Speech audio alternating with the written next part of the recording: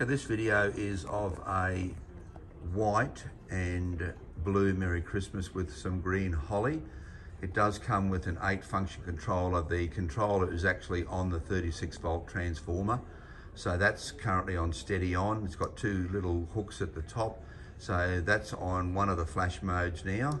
And then the next mode is just on and off. And then the next mode is like a fast flash. And next mode is just a slow fade in, fade out.